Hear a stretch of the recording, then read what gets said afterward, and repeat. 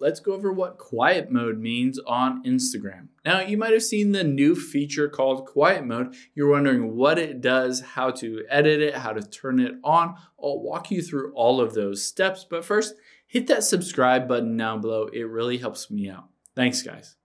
So I'm going to open up Instagram here and I'll show you where to find that quiet mode. We'll tap on the profile at the bottom right and then the three lines at the top right. Now we'll tap on settings at the very top. And you can see on here notifications, the second option, we'll choose that.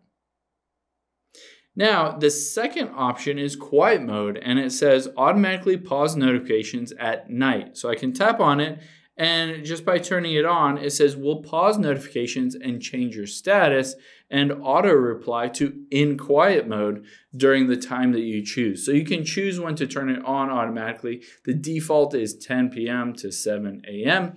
So basically, what this does is anybody that's messaging you on Instagram might see the in quiet mode uh, basically message or alert indicating that this person most likely will not respond to your messages on Instagram because they have basically turned on this setting where they won't be notified of any messages. Now, this doesn't prevent you from being on the app and messaging back and forth, but it just kind of gives them a little nudge that maybe you don't want to be bothered during these hours and it won't send you a notification so it won't bother you in the middle of the night if somebody is sending you a message.